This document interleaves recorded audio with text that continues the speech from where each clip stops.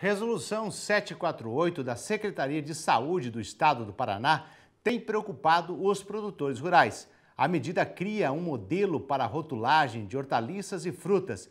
O problema é que o Estado quer todos os dados exatamente em uma ordem pré-definida, o que obriga os produtores a mudar todo o sistema de impressão. E quem acompanhou a reunião e traz todas as informações para você é o assessor técnico da CNA, José Eduardo Brandão, que está aqui com a gente no estúdio. Muito bom dia, seja bem-vindo. Bom dia, Marcelo. É, essa reunião que aconteceu no Paraná é um grupo de trabalho? Quem é que participa?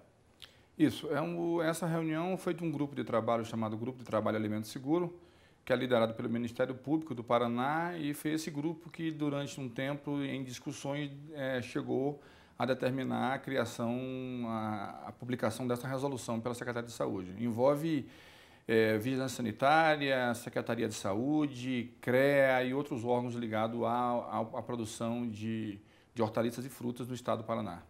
Agora, os dados pedidos na resolução já constam nos rótulos, independentemente da ordem? Isso, esse, esse é, o, é, o, é o ápice do problema. Nós, nós fomos, nós CNA, fomos, fomos fomos chamados pelos produtores para nos dar essa informação de que teria esse prejuízo, esse prejuízo como você falou.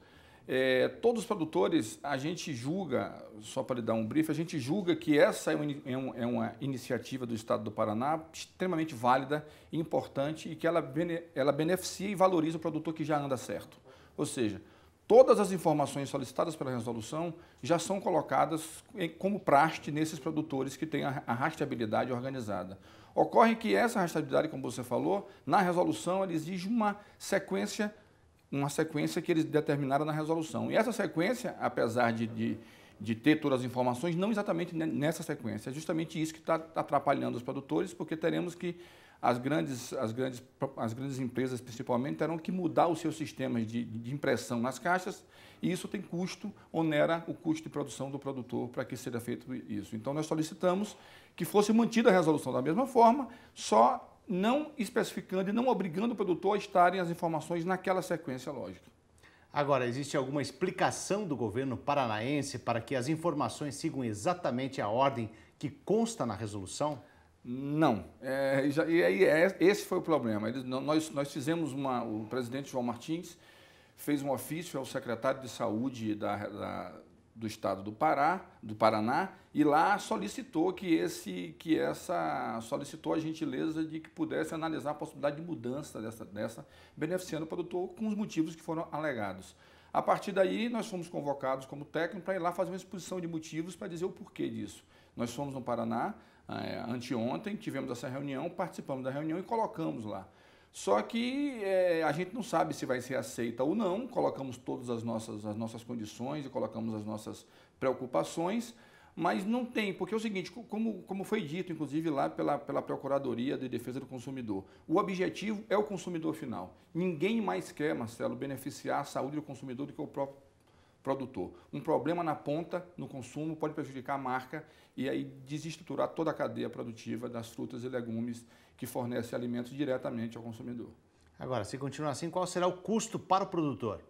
Esse custo vai variar de, de empresa para empresa. As empresas de grande porte, é, é, as empresas de grande porte terão um custo maior. Né? A gente não tem como mensurar ainda, porque esse custo é, é, é variável, mas com certeza vai ter um impacto no custo. Né? Alguns produtores, inclusive, já pensam em fazer etiquetas colantes para que eles possam colocar nas caixas. Mas o que foi alegado também lá, é bom que se diga, é que como, ele, como eles falam, que o objetivo principal é o consumidor, para que o consumidor saiba de onde está vindo, a rastreabilidade daquela fruta que está sendo comercializada, raramente, em casos muito raros, essa caixa que sai do packing house do produtor com essas informações não chega ao produtor. A caixa é aberta pelo distribuidor, jogada na gôndola e você vai lá e pega a fruta única, uma fruta individual. Normalmente é assim. Então o consumidor não tem acesso a essa, a essa informação. Então não ia adiantar. A gente quer continuar fazendo o que está fazendo, continuar prestigiando, porque isso é uma coisa importante. A gente sabe que isso vai ser uma coisa espalhada para todo o Brasil, para todos os estados do Brasil. A gente quer tentar consertar isso antes que cause um problema maior. Então, é só isso. As, as, informações estão lá, só que não na sequência que foi colocada pela resolução. Esse é o nosso pedido. E quais serão os próximos passos, então, do grupo de trabalho?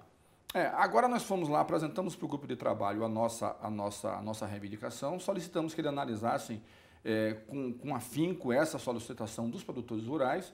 Foi colocada em ata a nossa solicitação e agora nós vamos aguardar a resolução desse grupo de trabalho que vai subsidiar a mudança ou não, alteração ou não, se é que podemos chamar assim, dessa resolução pelo, pelo secretário de Saúde. Nós vamos fazer uma nova gestão junto ao secretário, informá-los que, que, que estivemos lá, mas se não houver, pelo menos no estado do Paraná, os produtores que lá quiserem comercializar terão que se adaptar à resolução se a gente não conseguir fazer essa alteração. Ok, José Eduardo Brandão, assessor técnico da CNA, muito obrigado pela participação. Foi um prazer estar com você aqui.